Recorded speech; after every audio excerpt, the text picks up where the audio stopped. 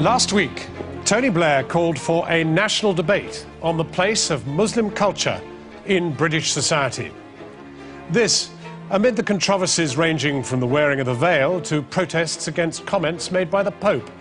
Tonight on Dispatches, we explore an argument that underlies much of the debate the apparent conflict between the traditional British values of free speech and the demands of this country's Muslim population. Tonight we ask is free speech under threat in Britain?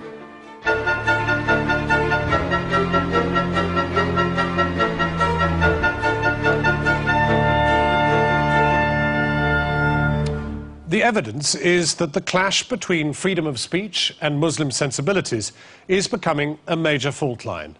We conducted our own survey for tonight's programme to test the opinion of the population as a whole using the polling company Populus. We asked if they agreed that people in Britain are afraid of speaking out on issues involving Muslims for fear of causing offence. 73% said they agreed, only 18% disagreed. But a previous Channel 4 poll by GfK NOP found very different opinions in Britain's Muslim community. Asked whether they supported free speech even if it offends religious groups, only 31% said yes, 62%, exactly double, said no. Now, in recent months, works of art, films, newspapers, and public figures have all come under fire. In Holland, a provocative film about women and Islam led to the murder two years ago of its director. And earlier this year, violent protest erupted over the publication of a series of cartoons in Denmark which satirized the Prophet Muhammad. Danish embassies in Syria and Lebanon were set on fire, and there were deaths in Nigeria, Libya, Pakistan, and Afghanistan. At least 139 people died in the protests worldwide. In London and across Britain, angry demonstrators took to the streets. And then, last month, a speech by the Pope sparked protest again. Pope Benedict XVI quoted lines from a medieval emperor who had said that the Prophet Muhammad was the source of things only evil and inhuman. This again led to mass protests in many countries and was linked to the murder of a nun in Somalia. The Pope's representative swiftly apologized. It was certainly not the intention of the Holy Father to offend the sensibilities of Muslim faithful. Tonight, Dispatches will explore these issues with the help of two people with opposing views on freedom of speech. They'll be joined by some of the key people involved in some of the most significant flashpoints on this issue. First is Kenan Malik, an intellectual and writer on theories of human nature and the meaning of race. He is also a passionate supporter of unfettered free speech. Kenan, why? Freedom of speech is the bedrock of an open democratic society, and it must include the right to offend anyone. Many people suggest that because we live in a plural society, so we need greater limits on free speech. I think the opposite is true. In a diverse society such as ours, it is both inevitable and important that people offend the sensibilities of others. Inevitable, because where different beliefs are deeply held, clashes are unavoidable, and we should deal with those clashes in the open rather than suppress them. Important, because any kind of social progress means offending some deeply held sensibilities. If liberty means anything, George Orwell once said, it means the right to tell people what they do not want to hear. Free speech is good for minorities, for Muslims, and for society as a whole. That's why we should defend it. Thank you, Kenan Malik.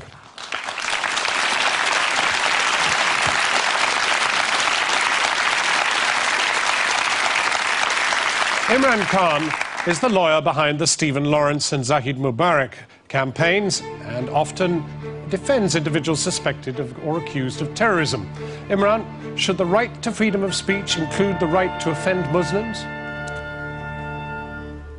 I'm afraid to say that this debate is not, despite what anyone else might say tonight, about some abstract notion of free speech, but simply an unadulterated, unambiguous, massive attack on a minority in the West. It's under attack from the law, the media, and even from neighbors in the streets. One of the banners or dare I say veil, under which this attack takes place, is the completely unrestrained right to free speech. We will see tonight, I'm sure, where the free speech of the type practiced by the Western media really leads. The marginalization, the criminalization, and the demonization of a minority section of our population. Thank you very much, Imran.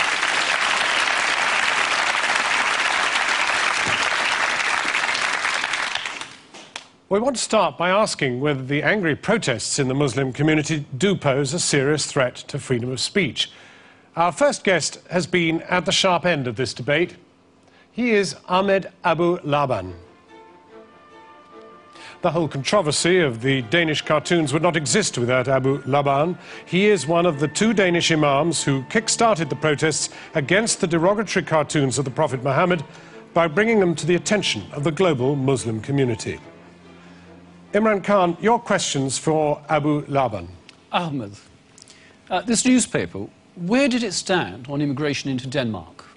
No doubt that Jyllands-Posten is the biggest newspaper in Denmark. It was leading the anti-immigration and anti-Islamic propaganda uh, campaign for almost eight years, continuous years. So would it be right to say that the publication of these cartoons led directly to attacks on Muslims in Denmark?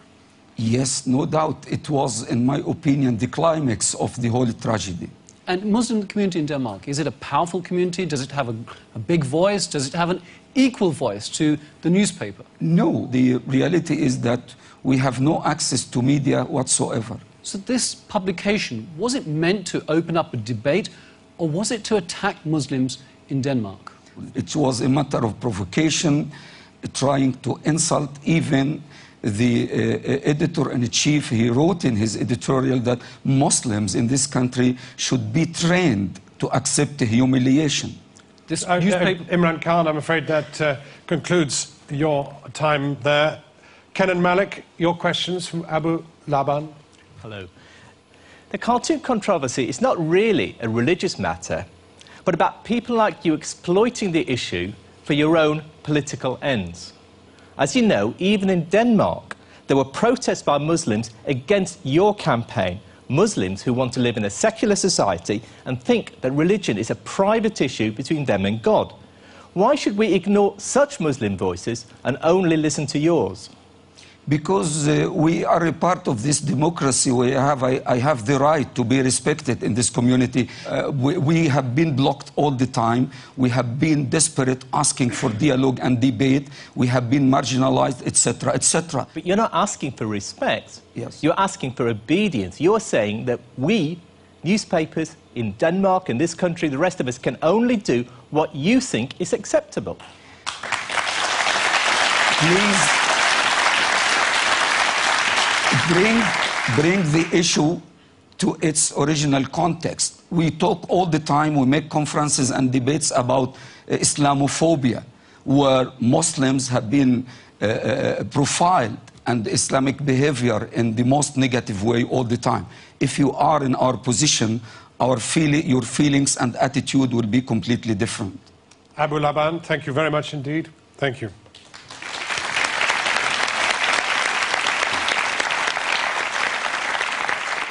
Our next guest is Caroline Fourest. She is a French intellectual with a track record for courting controversy in the cause of free speech. Once the Danish cartoons protest had started, she took part in the decision to republish the cartoons in a French magazine. Kenan Malik, your questions to Caroline Fourest. Why was it important to you to republish the cartoons in France? First of all, it was important to inform the public opinion because as journalists, I cannot imagine to judge the center of a polemic like this without showing what is the center of the polemic. And secondly, it was important because my newspaper is a very anti-racist newspaper, but also a very secularist one. We made all the time cartoons about the Pope. And we cannot imagine uh, just to not refuse to publish the same things about Muhammad, even if it's the Prophet of Islam.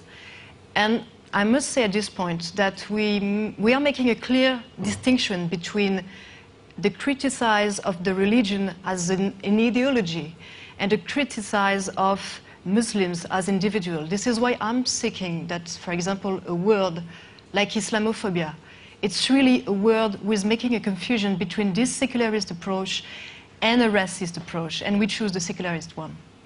In other words, the label Islamophobia is often used not to highlight racism, but to silence critics of Islam. Definitely. And, and I think this is the center of the debate here, because we are lucky to live in a part of the world where we have the right to exercise this spirit of criticism about religion. Many, many, many countries are not in the same case. And many, many people are coming from the Muslim world to live in Europe because of this spirit of liberty. We are in an international context where the big battle here is not between civilization. I do not believe in that. It's not between West and Islam. The struggle here is between fundamentalists and modernists. If we choose to intimate or to ask to modernists, even in Europe, to not criticize religion, they're going to lose, and it will be our fault. Critics.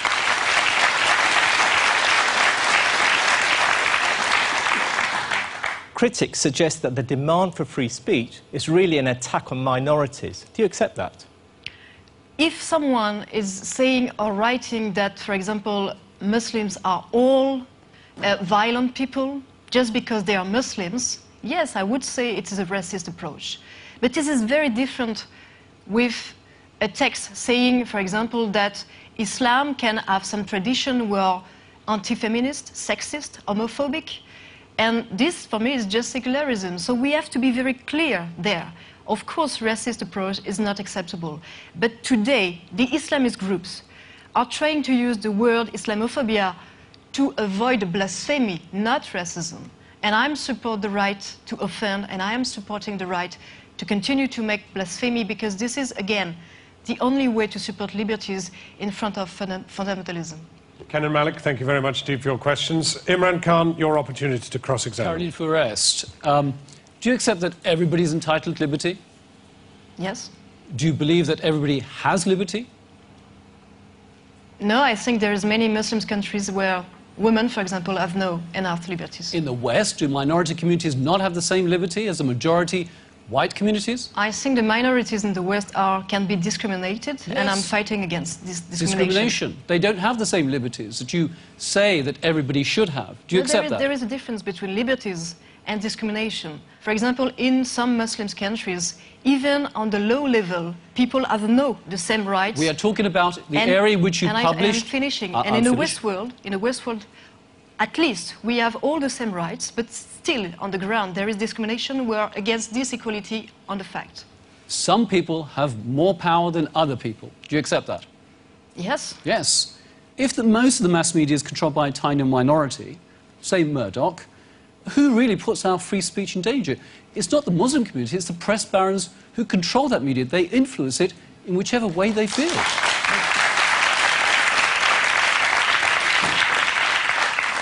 As journalists, I cannot accept the plot conspiracy explanation. I'm not suggesting any conspiracy. Yes, you're suggesting that. I'm not. Let me tell you one thing. I have some friend uh, who tried to explain me that publishing the cartoons was to be part of the Bush administration American conspiracy against the Muslim world.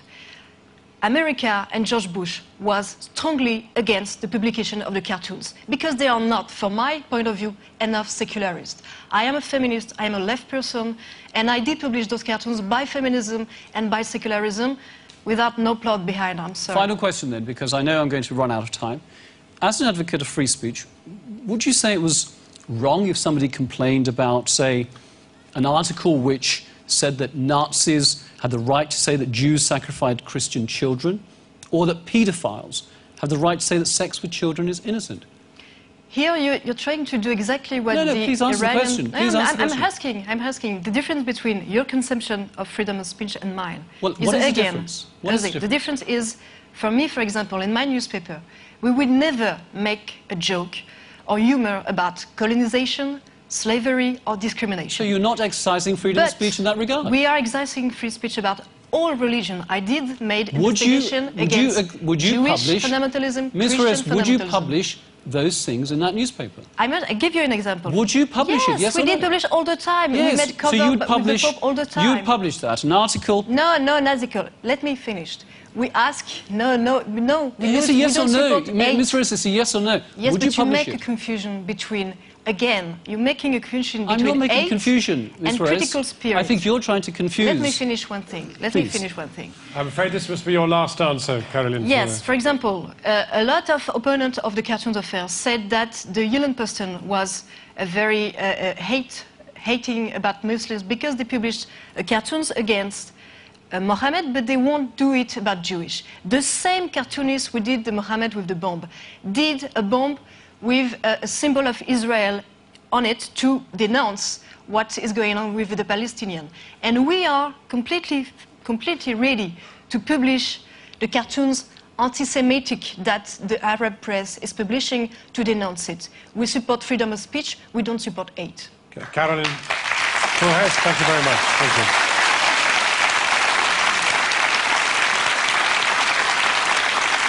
Well, there is a, a question of whether, in order to judge the degree of offence, we should show the cartoons themselves. I mean, these are they. They're freely available on the internet. I've got copies. They depict the Prophet Muhammad in a range of guises, from a character in a police identity parade to one of a terrorist with a bomb strapped to his head. Uh, I, I want to ask the advocates should we show the cartoons now? Kenan. Yes, we should. We're having a debate about free speech, and we're asking the audience and the viewers to make up their minds. It seems reasonable, therefore, to present them with the evidence, the cartoons, and let them decide. Right. If they're grown up enough to have a vote, they're grown up enough to look at the cartoons. Imran Khan.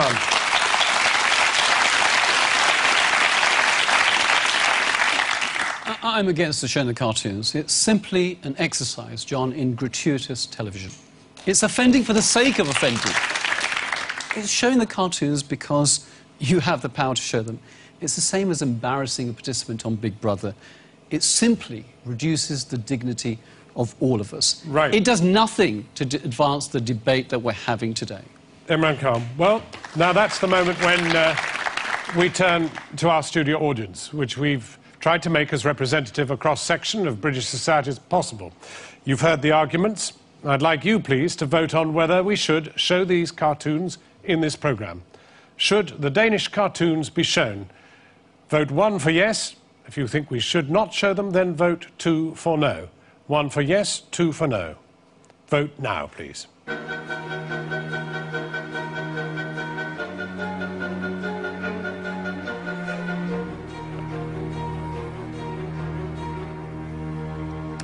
After the break, when film director Theo van Gogh depicted semi naked women with Quranic texts, he paid with his life. We're joined by the film's producer. And of course, we shall have the results of our vote. Welcome back to the Dispatches debate. We're discussing Muslims and free speech. Now, before the break, we asked our audience to vote on whether we should show the Danish cartoons that lampoon the Prophet Muhammad and provoked worldwide protests. Here are the results. And they are an overwhelming yes, 69% yes, 31% no. So, however, I have in this envelope a statement from Channel 4 on whether we can show the cartoons or not. Channel 4 previously broadcast images which included the cartoons as part of our news reporting of the controversy earlier in the year. We are aware that the cartoons are designed to be deliberately provocative and have caused significant offence to Muslims. They should therefore be shown on television only if there is an overriding editorial justification. We do not believe there is such justification for their use in the debate.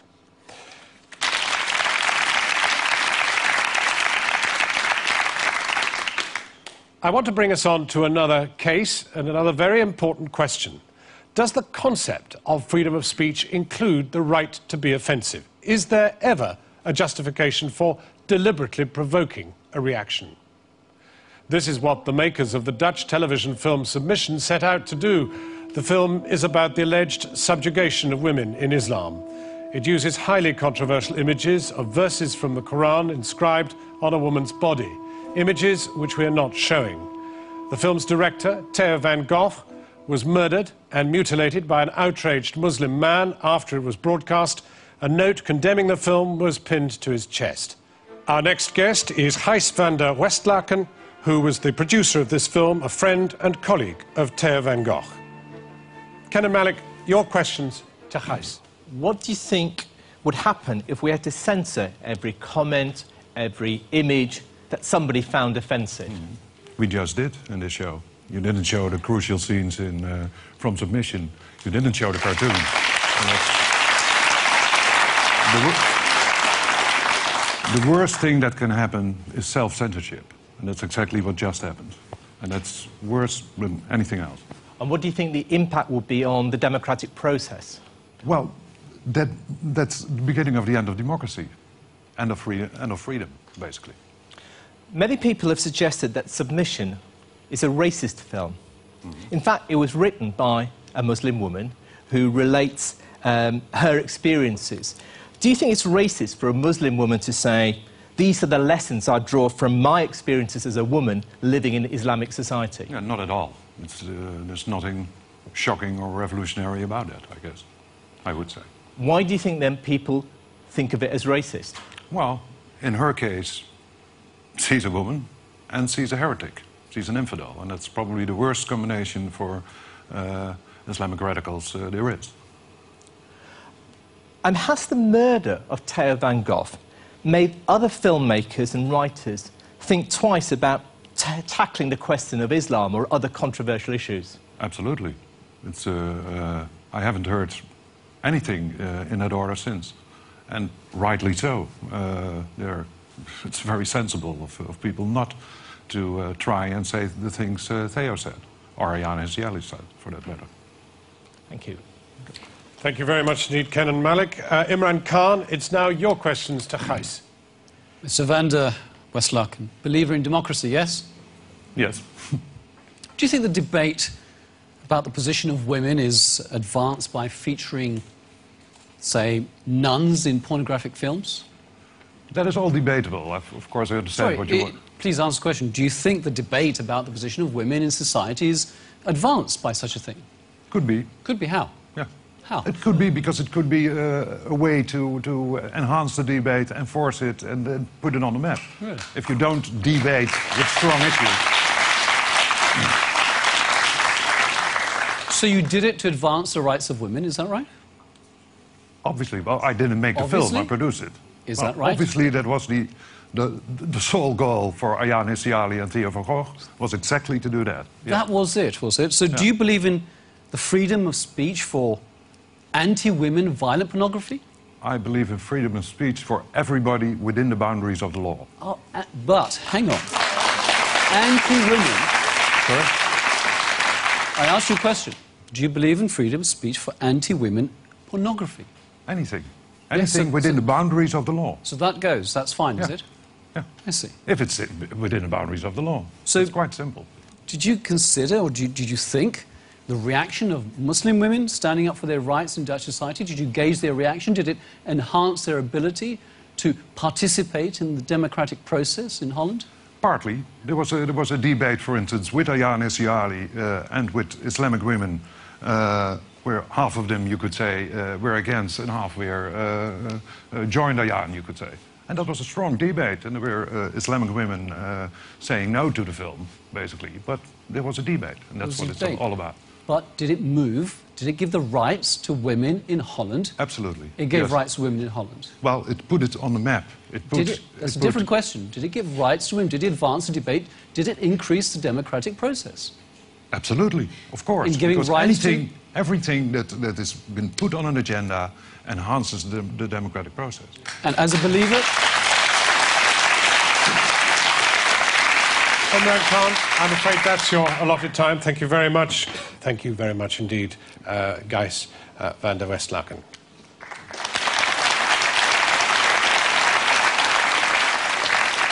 You can take different views on whether or not freedom of speech implies a right to offend, but is there also a right to be protected from offence?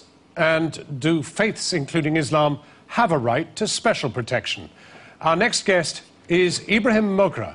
He is the chair of Imams and Mosques for the Muslim Council of Britain. He has spoken out for the Muslim community on many of these recent controversies.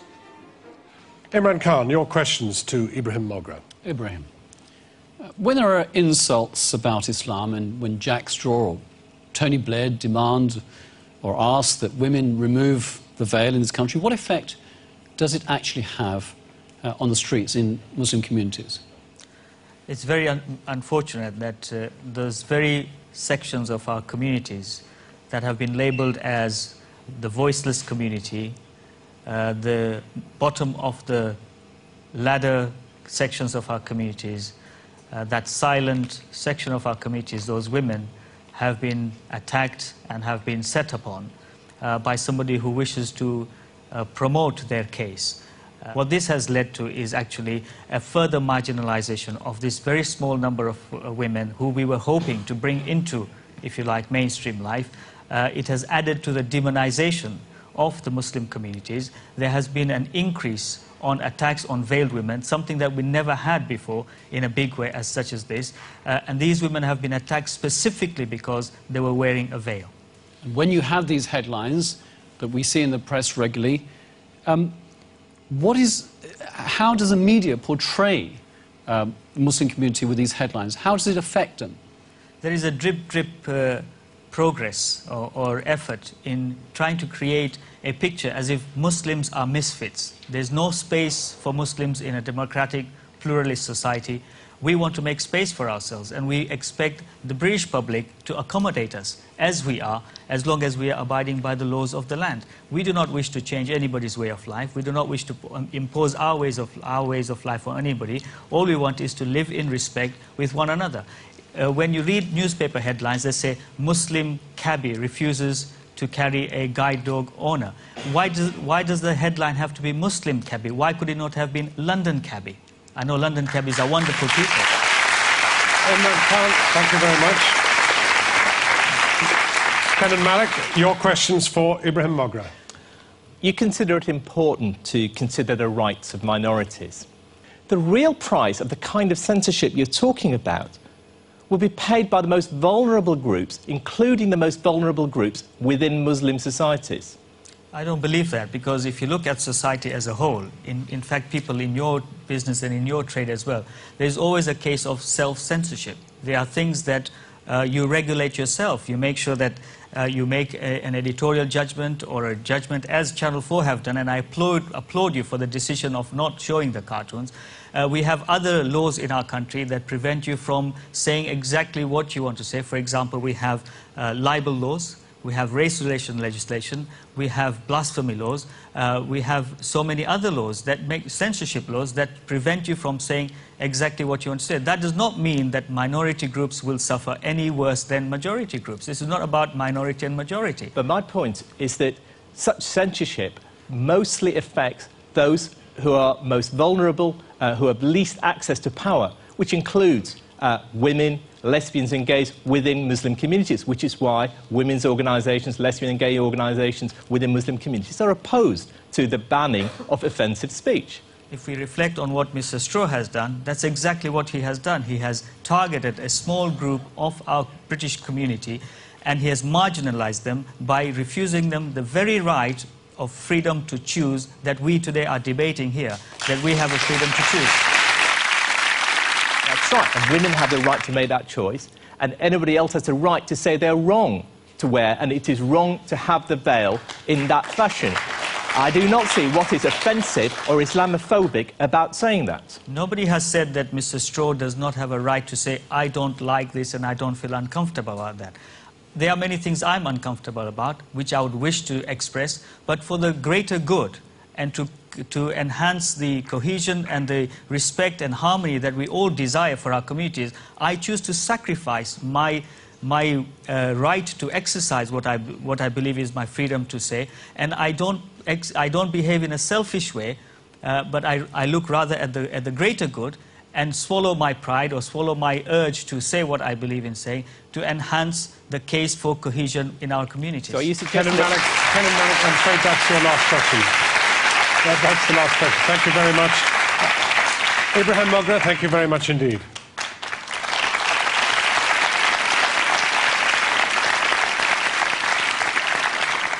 Next, a man who has led UK protests against the Pope's remarks about Mohammed last month. But first, let's take a break. Welcome back to the Dispatches debate. We're exploring tensions between Muslims and free speech. In a speech last month, the Pope quoted from a medieval theologian using these provocative words Show me just what Mohammed brought that was new, and there you will find things only evil and inhuman, such as his command to spread by the sword the faith he preached. Well, the result was another round of furious protests in many countries, including Britain. Our next guest is Taji Mustafa. He is a London based representative of the Islamic group Hizb ut Tahrir, which loudly condemned the Pope for what he said. Hizb ut Tahrir is a controversial group within the Muslim community, and the government has threatened in the past to ban it. Imran Khan, your questions. You'd agree, Mr. Mustafa, like I think all people here, that the Pope is a very influential individual. Absolutely. He's a world statesman whose every word carries significance. Now, in terms of his comments, I have no problem with debates, with dialogue, with engaging with people. But why did he have to choose and hide behind the words of a 14th century emperor, describing Islam, as was just introduced by Jon Snow, in a provocative manner, saying that Islam brought nothing but evil and inhuman things. So, firstly, that was the insult which caused such a furore, and I think rightly so, in my opinion, and led to a lot of very peaceful demonstrations across the world. But it came in a context. This is a world where Bush is talking about Islamofascist. Blair is talking about aspects of Islam being an evil ideology in their war on terror rhetoric. And in that frame came the Pope talking about Islam being evil. And so it's very easy to understand how these incendiary comments blew out. And so this added fuel to the war on terror propaganda, leaving Bush and Blair to carry on with their murderous wars, killing half a million people. And the world focuses on Jack Straw's comments, these ridiculous comments about that the Pope made, his insulting comments, rather than the real crimes which are being committed in our day and age. So, had those comments been made, had those comments been made in a different context, would there have been the same sort of objection? Muslims have no problem with dialogue. My organization globally distributed a challenge, a leaflet, an open challenge to the Pope. You want to discuss the substantive issues, Islam and violence? Let's look at Christianity and violence. You're from the papacy, which has a very bloody history, may I say, in terms of the crusades. Let us sit down. Let us sit down and discuss. We're not averse to discussion. But what Muslims will not accept, and what no human being, Muslim or not, should accept, gratuitous insults about their beliefs, their faith, or anything dear to them. It's done to provoke, not to debate. Is this is right? not a debate, a pejorative, insulting statement. And in his speech, the whole of which I have read, he made a one sided analysis that somehow Christianity is linked with reason, Islam is linked with violence. In front of him, when he's talking about violence and religion, in front of him is Tony Blair going to Iraq to spread by the gun his very beliefs in liberal democracy. Why didn't he analyze that in terms of people using violence to spread their beliefs? Why pick on Islam? So be very, very clear there's an agenda here. There is an agenda to demonize, to vilify Islam as part of this global war on terror.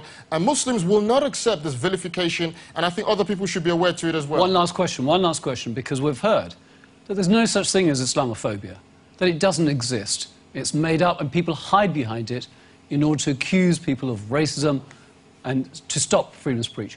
In your opinion, your experience, is there a rise in Islam? Does it exist? What does it mean? Well, let's look at the last two weeks. Jack Straw's comments. John Reid followed in. You know, Muslim parents, you're very naughty the way you're raising your kids. It's a threat. Ruth Kelly, Muslim schools preach extremism.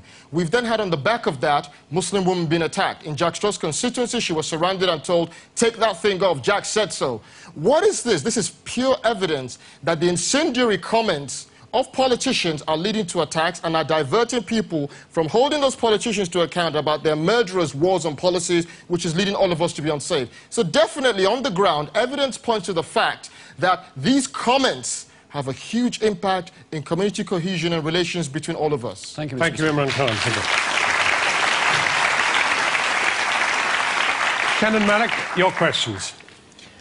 Haven't we become too touchy-feely about everything?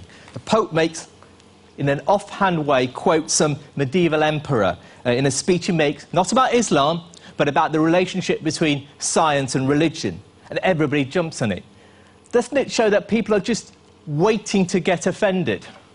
The Pope's comments were largely about Islam. And Mr. Malik, would it be okay to Uh, start in with? which case, you, have, I you haven't, I'm sorry, you haven't, you, haven't, you haven't read the speech. If you think I have read the speech, You haven't read the speech. If I you think it was largely about. Islam. The He spoke art- about reason. The speech was about the relationship between religion and uh, and science. And why did he single out one Islam for offhand- there was a- criticism? There was, an offhand remark he made uh, about uh, uh, the uh, uh, question of Islam, um, uh, quoting a medieval emperor. The point I'm making is that people are waiting to get offended by those kinds of issues. Will you be offended if I insult your mom? Of course you'd be. As a reasonable, rational human being, I'd expect you to have things which upset you. And any of us here, does that give me the right to insult your mom gratuitously? Of course not. I'm a decent person.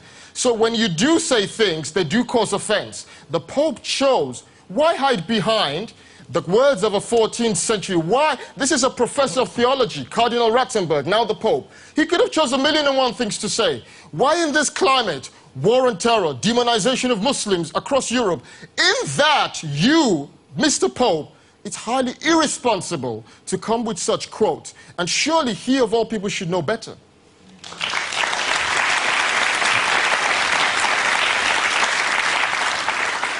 Muslim leaders, Islamic organisations, including yours, are not exactly known for their progressive views about gays, women, Jews, and so on. Isn't the spectacle of you accusing the Pope of backward views a bit like Donald Trump accusing Bill Gates of having too much money? That's a ridiculous contrast. It- if I may say so, that's a ridiculous contrast. The reality is what? People have a right, when they are offended, to say so. Don't you ever get offended? Do you expect 20 million? How do you Absolutely, expect and I will say relations? so. But, the, but the, the point is that uh, I, ex- I also uh, accept the right of anybody to offend me. What you're demanding, you're demanding the freedom to insult. Let's be very, very clear. In this debate, which is not about freedom of speech, you're demanding the freedom to insult. In no I'm civilized happy, society, I am happy for people to insult me. In I no think people civilized should have. society- I think people should have the right to no, insult me. that is the most uncivilized thing. In no civilized society should people accept the right to insult others. Jews should not be insulted. Christians should not be insulted. And me as a Muslim or anybody else should not have to live in a society where my beliefs are insulted. Will that lead to harmony? Will that not lead to tensions? So it's very irrational, illogical, and nonsensical to say it's okay to go around insulting one another. Taji Mustafa, thank you very much. Thank you.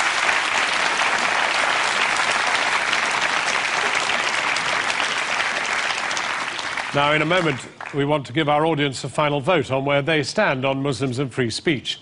But first, our final guest is Shami Chakrabarti. Uh, she is the director of the British pressure group Liberty, which campaigns to protect freedom of speech. Your questions, Imran Khan. Shami, why should we exercise restraint on freedom of speech now, in the present moment? Well, I think it's important, um, if I may say so, in this very sexy television polarised debate, to make a distinction between your right, your legal right in a free society of, of, of free speech, not unfettered, because we don't want child pornography and incitement to murder. So, there's- so there's always some, you know, there's always some necessary and proportionate limitations on free speech. But, but let's separate your legal right that I would defend to the death, actually, from whether, as a moral, ethical, sensible, sensitive, polite, individual human being, you choose on a given day in a given format to say this or that. That's really, really important. You have a right um, of, of, free speech, but it's not a duty to always um, to say the most offensive thing possible.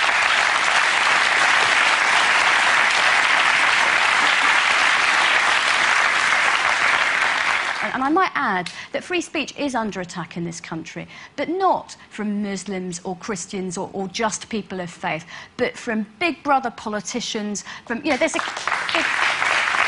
There was a there was a teenager. There was a teenager who was given a fixed penalty notice. He, uh, when he walked down the street with his friend, his friend said, "What did you do at the weekend?" And he said, "Bleep all." You can work out what the, what the missing word was. Okay? So, yes, free speech is under attack, but it's a bit of a shame that we're talking about it as if it's just from Muslims, because it's not. It's not. Thank I, you very can I- much can I- can I- One last question. One last Yep. question. We've heard that um, there's no such thing as uh, attacks on Muslims, that, that, that there's no such thing as this rise in Islamophobia. I, I- I don't want to bore the audience with statistics, but just from your expertise, your experience, as an organisation uh, working in this field, what is the state of attacks on Muslims in this country in Western Europe? The, the idea that, that, that, that, that, that Muslims in the current climate haven't been under attack is, if you pardon my French, buzzcocks. Thank you. But let me say this. I want, I passionately defend free speech and other liberal values. Freedom of expression is incredibly important. So why don't we lead by example, right? If we want to say to, to, to Muslims, as, as I do, in solidarity and friendship, don't be overly offended by profane cartoons, right? Sticks and stones will break your bones, but not cartoons. If we want to say that, then why should we be so offended by women who choose to wear a headscarf or a hoodie or anything else? Imran Khan, thank you very much.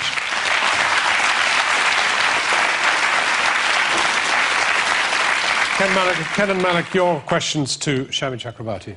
Hi. I agree with you that the right to free speech does not include a duty to offend. Just as the right to divorce does not mean that we all have to get divorced in the morning. That's right. But the right to free speech must include the right to give offence, just like the right to divorce means we can get divorced in the morning. Don't you agree with that? Oh, absolutely. As a legal right, because we will disagree about what is offensive and, and what is gratuitous and whatever, as a, as a legal right, we cannot have this nationalisation of personal ethical space so that either because there are threats of violence or threats of prosecution, we can't have conversations, we can't rub, rub along together. But what we need is to be individual, moral, ethical beings, sensible people, which are actually in this country for, for hundreds of years we broadly have been, and make these individual decisions about what to say and where to say it. Free speech is often seen as the enemy of minorities. Do you agree with that? Not at all. Everybody is entitled to their human rights, but sometimes in a democracy, it's, it's minorities who need human rights protection the most. In other words, the real. In other words, the real problem is not free speech as such, but the failure to apply it universally. What we need is more free speech, not less. We certainly need an even handed application. So, as I say, free expression and conscience means sometimes you get to wear what you like as well as say what you like. But also, I have to say that even when we're talking about laws, there's no such thing in any democracy, in our imagination or in history, that has unfettered free speech. Look at the importance of child pornography, incitement to murder, uh, uh, and some other necessary and proportionate restrictions in law. Shami Chakrabarti, thank you very much indeed.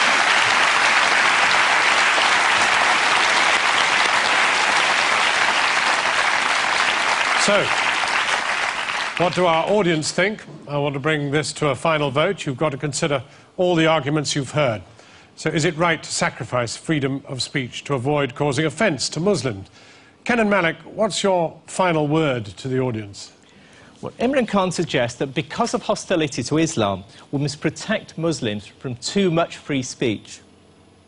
I believe that he exaggerates the extent of that hostility, not because it doesn't exist, it certainly does, but because it doesn't exist to the extent that he talks about, and the idea of Islamophobia is all too often used to silence critics of Islam. But even if it was true that Britain is a deeply Islamophobic nation, ask yourself this who is it that most benefits from censorship? Not the powerless and the vulnerable, but rather that those that bo- possess both the power to censor and the necessity to do so. Free speech is the friend, not the enemy of minorities, including Muslims. We should defend it as the bedrock of an open, diverse, democratic society.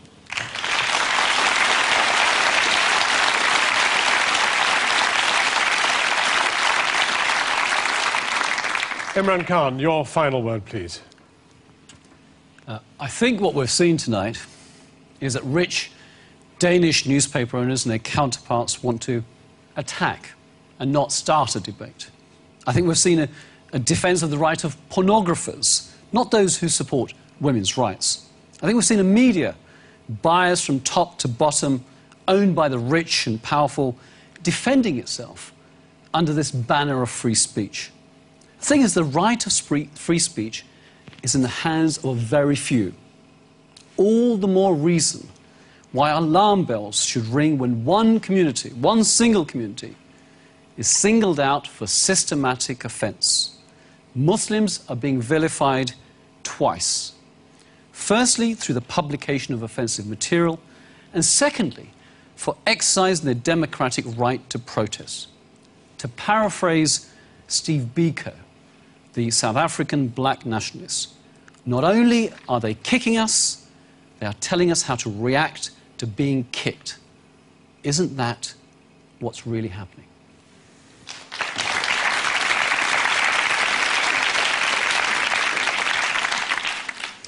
Well, there are the advocates' arguments. You've heard them. Before we come to the vote, let's uh, hear from some of you.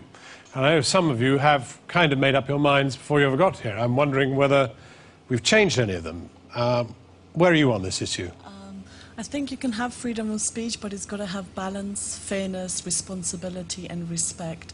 Um, it's okay to. That means you're with Imran Khan. I think I am. uh-huh. uh, what about you? Uh, I think that uh, too much is made out of uh, the Muslim feelings, and I think that Christian. We're oversensitive. Yeah, we're oversensitive. This is a Christian country, basically, and so therefore, when are our views going to be heard? There's Thank too you. much.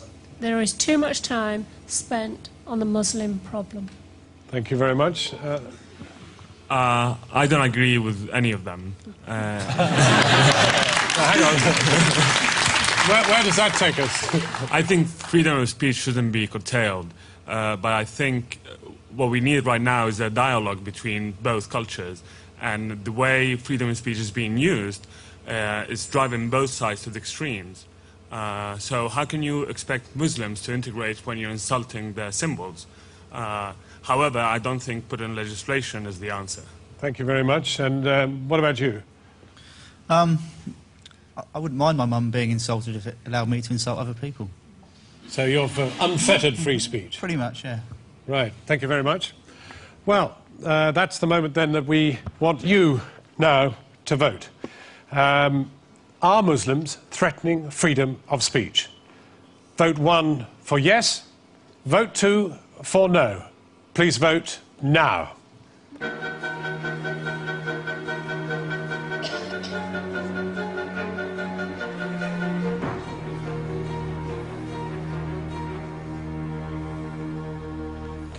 Well, the result is in. Our studio audience has voted.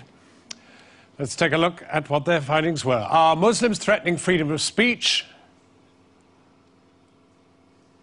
Very interesting indeed, extraordinarily close. And a tremendous tribute to both our advocates for uh, this very interesting vote. To the question, are Muslims threatening freedom of speech?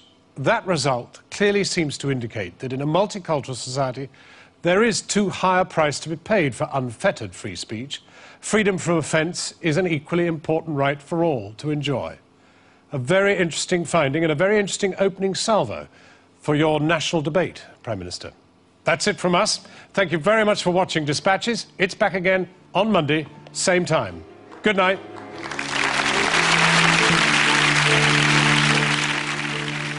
As a self made millionaire businesswoman met her match in the shape of a five year old girl. Wife Swap, next on 4.